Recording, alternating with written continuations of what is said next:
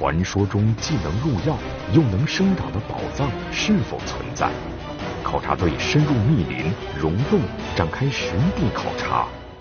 会生长的宝藏，地理中国即将播出。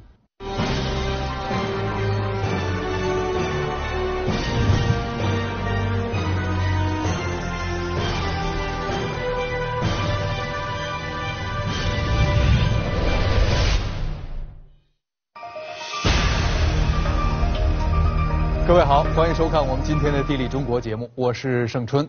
昨天啊，我们在节目当中说到，在广西的乐业县呢，传说有一种宝藏，它不仅能够入药，还能够作为肥料使用。更为神奇的是，它竟然能够生长，就算是挖完了，隔上几年啊，它又能够重新长出来。这种既能够入药又能够生长，还具有较高经济价值的宝贝，究竟是什么呢？我们的考察队啊，走访了乐业县的许多地方，每个地方都能够得到不一样的回答。但是按图寻找，却发现答案与传说中的宝藏都相去甚远。会生长的宝藏到底是什么呢？真相啊，变得扑朔迷离。考察队只好回到原点，开始了层层剥茧式的推导。终于有了发现，这传说中的宝藏啊，是用来炼制不老仙丹的一种矿物质。可是。问题又来了，这矿物质一般都是不会生长的。那么，这种能够入药又能够生长的宝藏，究竟是哪一种矿物质？乐业县位于广西壮族自治区的西北部，距离广西首府南宁市四百多千米。乐业县境内分布众多的天坑，目前。在大约二十平方千米的范围内，已发现天坑二十八个。全世界十三个超大型天坑中，分布在乐业的就有七个。乐业天坑的数量和天坑分布密度，在全世界都十分罕见，因此乐业县也被誉为世界天坑之都。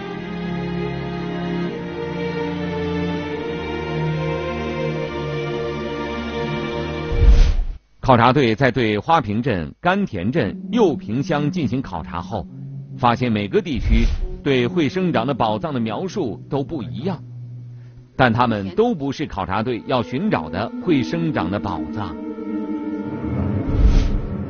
在向导的指引下，考察队来到了乐业县同乐镇。就在队员们在一户农家休整时，大爷给我们提供了一个非常有价值的线索。老人说，当地的山洞里有一种宝贝，早些年他们当地人都会从山洞里挖出来撒播在田间。只要撒播了这种神秘物质，那年的农作物肯定会高产。老人说，这种东西说来也奇怪，好像会长一样。不管怎么挖都挖不完。考察队在村子里连续寻访了好几位村民，他们都说这种物质除了能够当肥料，而且还能入药。现在没得了，嗯，现在没得了，以前是家去洞头看过。哦，那个那个是怎从在哪挖的呀？在洞里面。以前他们人都从那个里面挖那个挖东西出来当肥料。是啊，以以前是要做肥料的，嗯，做肥料啊。现在呢？现在没用了，没用了。装肥料的那个东西。可是，当考察队要求进洞一探究竟时，老乡们却百般推脱。它都能长出来？呃。您能带我们去看一下吗？现在没有时间啊。在哪啊？那您告。下面有一个，上面是上面那那里有一个。哦，那个地方有一个。啊。远吗？也好远好远吧。在考察队的一再要求下，老乡终于带着大家来到了藏宝洞的山脚，但对宝洞的位置却还是秘而不宣。洞口啊？嗯，洞口很矮的。很矮的一个洞口。考察队只好决定自行前往。这座山距离老乡所在的村子也就几千米，别看海拔不高。但上山极其困难。老乡说，当年村民为了财宝，曾开辟了一条路。最近几年，为了保护山林，政府禁止人们上山采宝，进山的人慢慢少了，偶尔需要采点洞里宝贝入药的时候，才会有人进去。老乡说的宝贝，似乎和考察队要寻找的既能入药又能生长的宝藏十分相似。那它会不会就是我们要寻找的会生长的宝藏呢？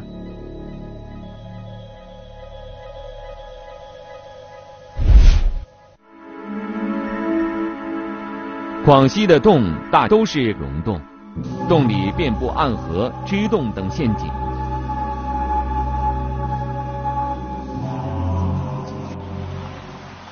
为了考察能够顺利、安全的进行下去，当地陪同人员为考察队请来了一位向导。龚老师是当地飞猫探险队的队员之一，他有着丰富的探洞经历，对溶洞的地形非常了解。然后这个那个峡考察队首先考察的就是老乡说的藏宝洞。为了确保安全，拥有丰富经验的龚老师在前面带路。龚老师一再强调，让我们沿着他走过的路行进，因为在这些长满杂草的地面下，极有可能是一个个隐蔽的竖井。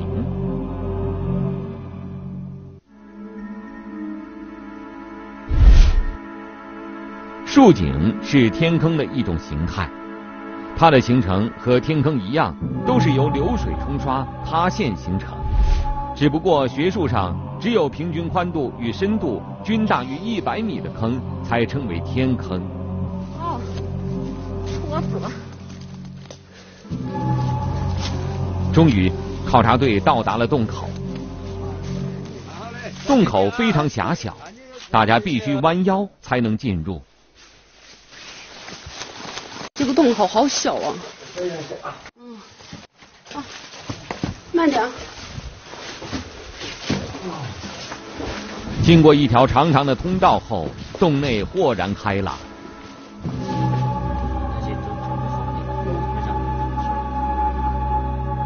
继续往里行进，是一个斜坡。老乡说的宝藏会在里面吗？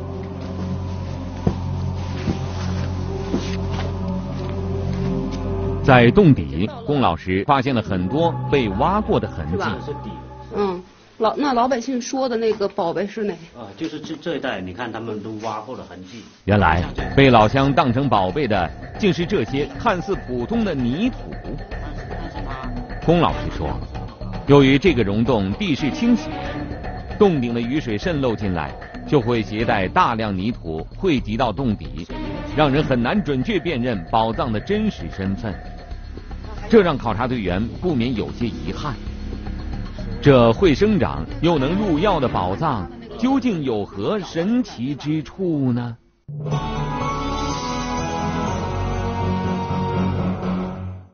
这种像泥土一样的物质竟然能够入药，这真是令人匪夷所思。专家推测，如果这土啊真的能够入药，肯定里面含有某种物质。可是这种物质究竟是什么？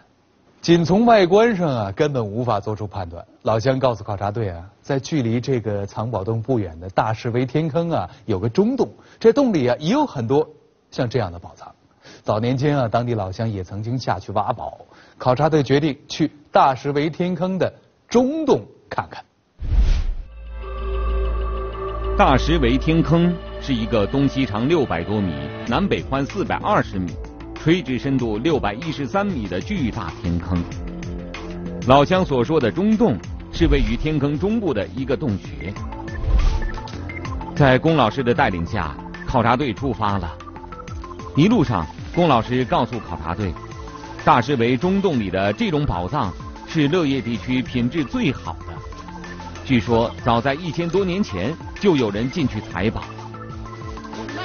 本以为能够顺利到达中洞。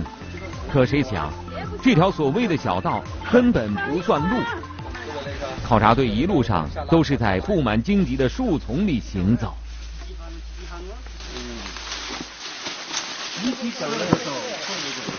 到这里了，原来我在给你们。你下来抠着这边的岩石。先抓稳了，才挪步。啊。扣到这个这个上面，然后手杵到那个上面。你别别杵，别用手指。嗯，往前一点。可就算是再小心，也免不了摔跤。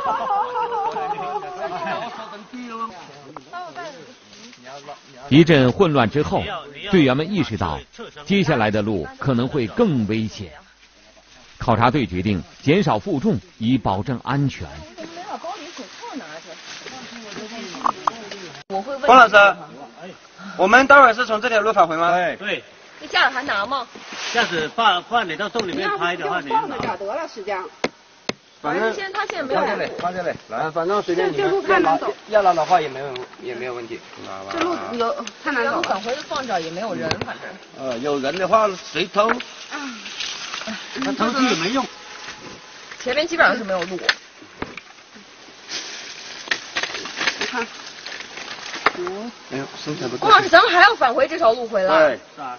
嗯，那就把架子放在这儿，怎么爬上去？要么就是从马蜂洞里拿绳索上下。哦。可以，那个我看看。那行。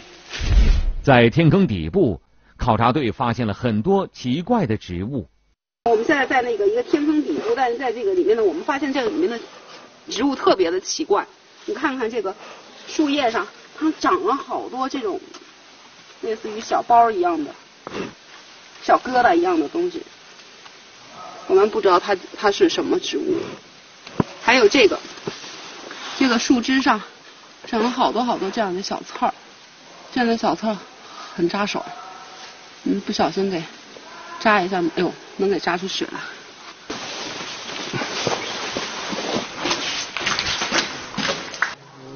一路跌跌撞撞，考察队终于来到了大石围中洞。这是一个巨大的洞厅，面积大约四千多平方米。在龚老师的带领下，考察队找到了传说中能入药的宝贝。那用青青青苔盖住它了，那其实这里边都是。嗯，这个这个是挺好的，你扒拉下来，嗯，很松软的状状态，就跟那个就跟那个面粉一样的。这里的土呈灰白色，质地松散，颜色也更纯。专家从外观上推测，这些物质可能是硝。硝既能做肥料，又能入药吗？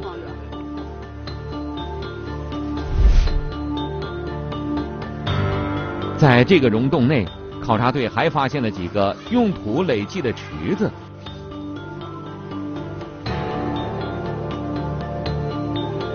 考察队试着测量了其中一个土池的面积。等一下，这个直径。四米六，四米六，看这儿。给我看嗯，四米九。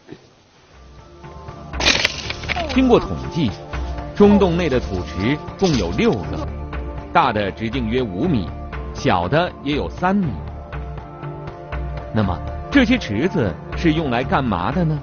是消池，他们炼硝的。这个就是他们炼过的废弃的那种硝泥。嗯。龚老师告诉考察队，这些池子是用来炼制火药的硝池。据史书记载，硝是炼制火药的主要物质。几年前，曾有考古专家对中洞进行过考察。专家从大石围中洞内硝池的规模以及硝土的数量推断，这里曾是一个规模庞大的火药生产基地。考古研究还证实，大石围中洞硝的开采历史应该是从宋朝一直延续到清代。这种用来炼制火药的硝，为何能被当地人当作肥料使用呢？为了解开这个谜题，队员们采集了中洞内的泥土样本，送到实验室进行成分分析。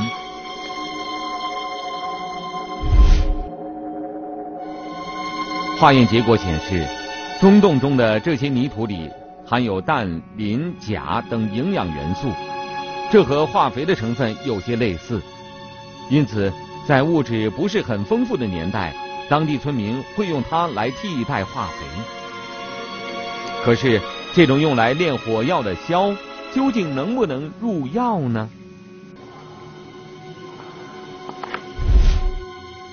查阅药典，考察队在《本草纲目》中发现大量用硝治疗疾病的药方记载。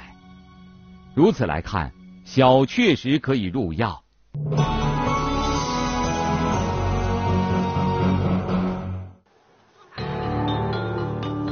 为了调查硝是否真的能够生长，考察队决定对另外一座洞穴进行考察。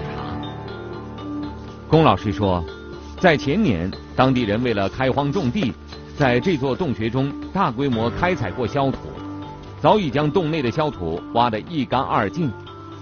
如今这个洞已经废弃，如果硝能生长，那么在洞里也许能够直观的看到硝土的生长情况。进入洞内，龚老师带考察队找到当时人们挖硝的地方。考察队惊讶的发现，经过三年的时间，曾经枯竭的硝土已经重新生长出来。我手都能能塞下去，还能套。原本已经挖空的硝土，经过几年，竟然又长了出来。那么，这里重新生长出来的硝。到底有多少呢？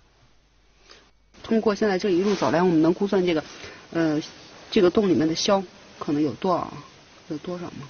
嗯，看看这里的长度可能有六七六七十米的长度，然后我们在的这个位置可能宽度可能有十几二十米这样吧。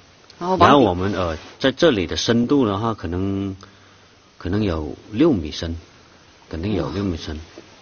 那我们算一下那个立方就可以，应该知道这里有多有多少硝了。它它它表面经过估算，洞内的硝土至少达到了六千立方米。如此看来，硝果然就是考察队要寻找的会生长的宝藏。可是，硝为何会出现在溶洞中呢？专家说。要想解决这个问题，首先必须确定，硝在乐业地区的溶洞内出现究竟是偶然现象，还是带有普遍性。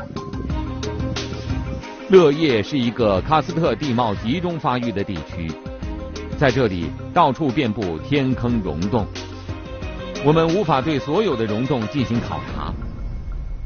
由于溶洞分为干洞和湿洞两种类型，专家说。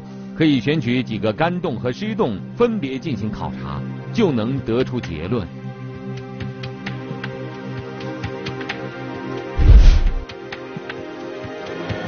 考察队首先选择的是一个干洞，这个洞位于公路旁边的悬崖之上，有路可以到达。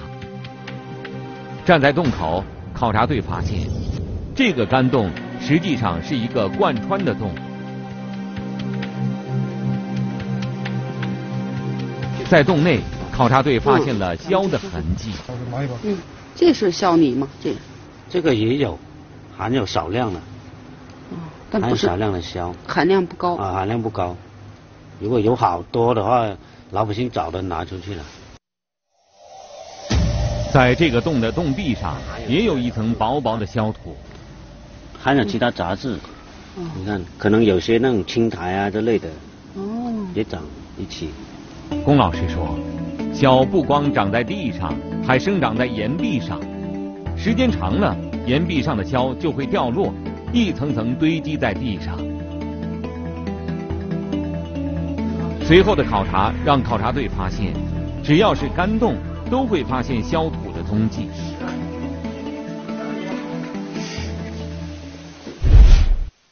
那么，在有水的湿洞中，会不会有硝的存在呢？接下来，考察队决定前往一个湿洞进行考察。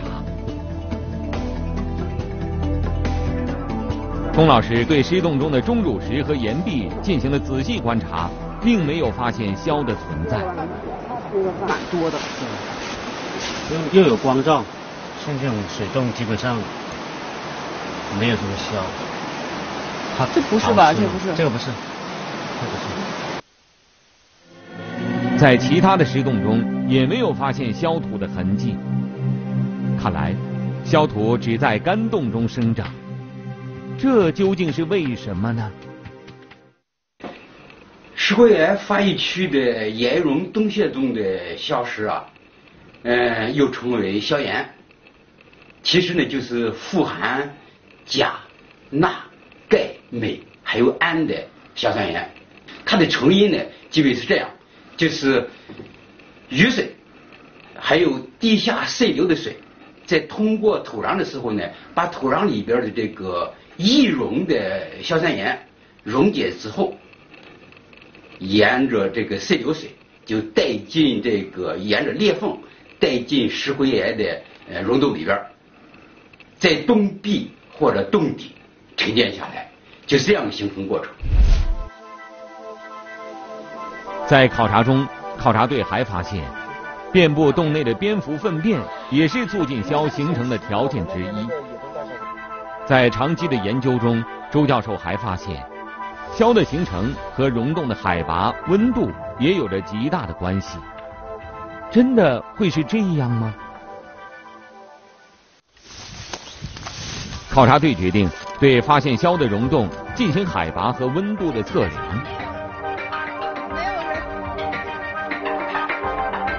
通过对几个溶洞的考察，考察队发现，这些长硝的溶洞。海拔都在八百米以上，温度二十五摄氏度左右。龚老师告诉我们，在乐业地区，位于这个海拔高度的洞穴，基本上都是没有地下水的干洞。专家说，喀斯特地区降雨丰富，土壤中的无机物随着降雨流水渗透至溶洞内部，再加上山洞里动物的粪便。当这些物质与水混合，便会逐渐腐烂。在干燥的季节，水分蒸发，慢慢形成今天看到的硝。而由于湿洞中有水，水会带走硝这种物质，因此在湿洞中往往看不到硝的存在。那么，硝为何会生长呢？大家知道这个硝石啊是易溶解的，它的形成呢，呃是一个呃这个反复的、不断的这个周而复始的形成过程，因此呢，它具有取之不尽、用之不竭的这个呃特点。专家说，硝是外来物的沉积，由于它的形成是一个不断累积的过程。因此，它也是会生长的。根据硝的四大特点，既能入药，又能当肥料，还能够生长，而且生长周期在两三年。如此来看，在当地流传千年的会生长的宝藏，就是看似普通的硝。生活在此的当地人，在长期的生产实践中，无意间发现硝的用途。于是便对它进行采集利用，在这一过程中，人们又发现，硝竟然能够取之不尽、用之不竭，因此当地人便认为这是上天赐予的会生长的宝藏。据当地人描述啊，他们的祖先呢也是在不经意间发现这个硝土啊会生长的奥秘的。原来啊。当地先民在使用硝土的时候，有一个不成文的规矩，那就是当一个山洞里的硝土采挖殆尽的时候，他们就会将这个山洞啊封禁起来，转到其他的硝洞从事开采。可是过上两三年啊，当他们再次走进这个封禁的硝洞，却意外发现曾经采挖干净的这个硝土啊，竟然神奇的冒了出来。所以啊，当地人常常把这个硝洞称为聚宝盆、藏宝洞。因为这个洞里富集的硝土不仅能够给他们带来财富，还具有神奇的再生功能。自然界呢就是这么神奇。当人们对一些神秘现象无法解释的时候，人们总能够产生一些美好的遐想和传说。而这些传说的根源啊，恰好就来自于人们的生产实践。好，感谢您收看我们今天的《地理中国》节目，我是盛春，咱们下期节目再见。